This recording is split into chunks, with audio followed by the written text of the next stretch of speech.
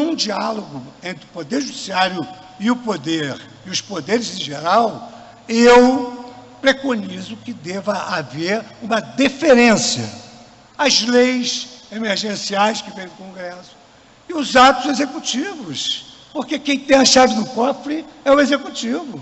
O judiciário não pode, eventualmente, proferir uma decisão que gere um impacto financeiro é, insuportável para o governo. Eu costumo dizer, não é hora de ninguém ganhar nada e não é hora de ninguém perder nada.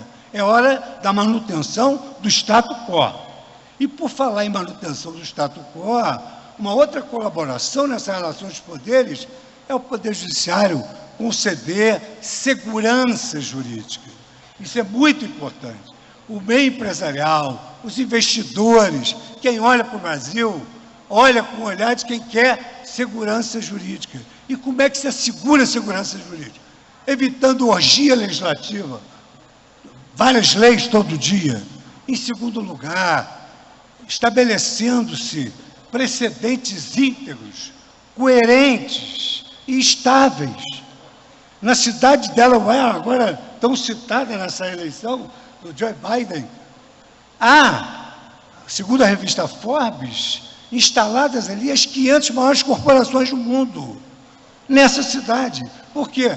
Porque nessa cidade a jurisprudência empresarial ela é estável. O nível de litigiosidade é de menos de 2%, porque todas as empresas, todos os negociantes já sabem o que devem fazer o que não devem fazer. Então, a cultura do precedente que hoje vigora no direito brasileiro cria numa linguagem da economia comportamental que o professor Richard Posner chamou de capital jurídico.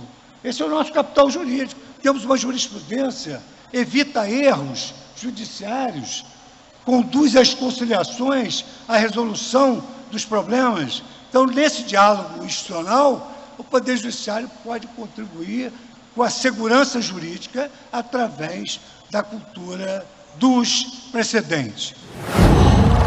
Qual